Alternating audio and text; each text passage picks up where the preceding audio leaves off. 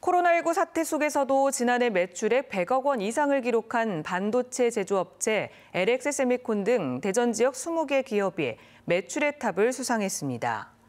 대전시는 또 대전에 본사나 사업장을 두고 3년 이상 운영한 성장 잠재력이 있는 56개 기업에 유망 중소기업 인증서를 수여했습니다. 수상기업에는 중소기업 경영안정자금 융자 때 이자 지원 혜택이 주어지고 대전시 통상지원 사업에 참여할 경우에도 가점이 부여되는 등 다양한 지원이 이루어집니다.